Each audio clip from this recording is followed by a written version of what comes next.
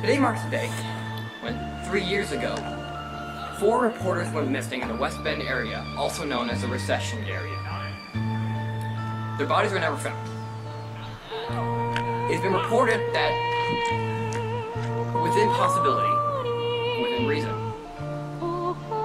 something horrible happened in those woods.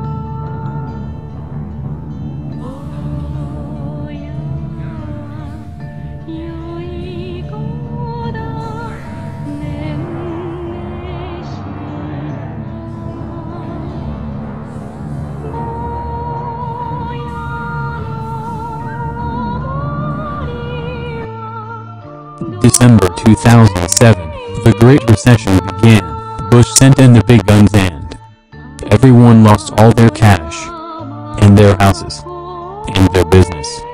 But they did get one thing, crack.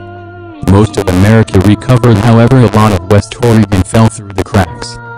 This created anomalous recession towns forgotten by time and trapped in their own economic hells like Detroit, Sweet Home and Coos Bay, which was always garbage let's be honest.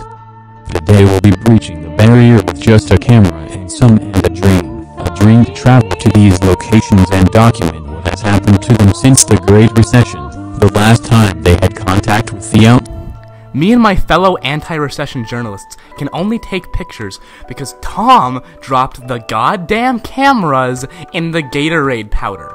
So all we have left is Greg's iPhone. Despite this, we have passed some evidence of civilization. So far, we haven't seen that much outside of the ordinary, besides multiple, strangely placed Confederate flags and a very surprising increase in Kmart's. We're gonna keep going further. Tomorrow, we will be sure to make make sure to record any further abnorm- abnormalities.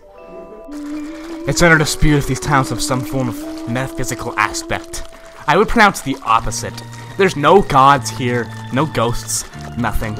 Just death, poverty, and crack. My sanity wanes with every passing minute here. I passed at least four different subways and the same veggie grill 19 times at least.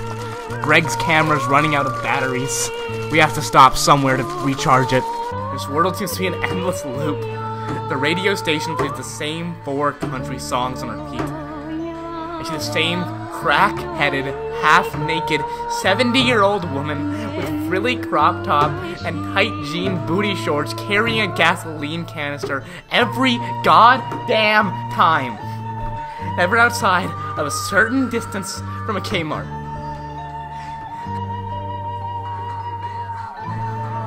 The world seems to be an endless loop. The radio stations play the same four country songs on repeat. I see the same crackhead, half naked, 70 year old woman with a frilly crop top and tight jean booty shorts carrying a gasoline canister every goddamn five minutes.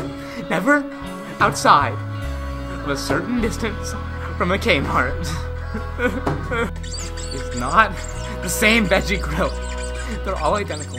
God damn it, they're not the same veggie grill. I went inside. They're all different. It's not the same woman either. My hypothesis is that the re- recession created such a surplus of cocaine that everyone has become a crackhead. I swear to God, this mountainy forest has no end. No matter how far I go, the recession towns keep going. This is pain. Nothing but pain. It's been six years. Every day, I have to go to a new Kmart to get more supplies. I've only eaten barbecue chips and Takis this entire time. But no matter how bad I eat, I can't die. I tried to ask locals where the way out is, but they just look at me. They take my arm and snort a line of coke off it. My life is a new hell of repetition. They don't understand how a place can be so wet and so dry at the same time. It's as if reality bends to these towns' very will. I've investigated situations of abnormal origin for the better half of my existence. I find the repetitive nature here disconcerting yet alluring. My fuel levers are low. With the coming hours, I'll have to stop at a recession gas station. God help me. There's no exit. Almost all of the buildings have become weird, formless Kmarts that don't seem to have limits to their stocks of apple fritters. I'm afraid. The sky has become one solid gray color. I'm surrounded, and I exist in an alien world consisting only of pain. I'm going to McDonald's.